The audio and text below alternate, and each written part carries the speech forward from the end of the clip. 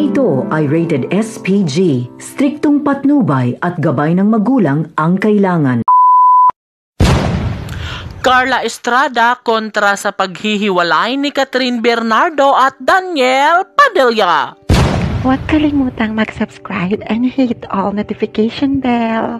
Thank you. Hindi rin umano madali para sa mga solid supporters ng Katnya Love Team kung sakaling darating ang araw na magaganap ang paghihiwalay ng kanilang mga iniidolo dahil hindi natin masasabi kung ano ang mangyayari sa hinaharap.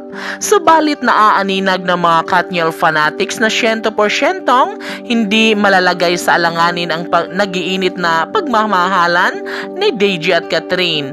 Natitiyak umano nilang hindi basta-basta nabibigay na lang si Catherine at Daniel sa kanilang relasyon.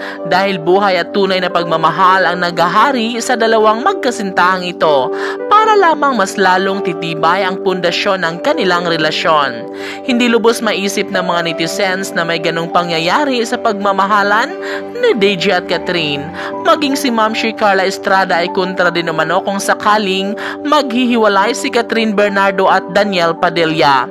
Ayaw ni Ma'am Shi Carla na magkawatak-watak si Supremo at Queen Cat dahil na pag-uusapan na umano nilang walang paghihiwalay na magaganap sa kanilang relasyon na sana'y kayang patunayan ni Daniel na hindi niya magagawang bibitawan agad si Catherine.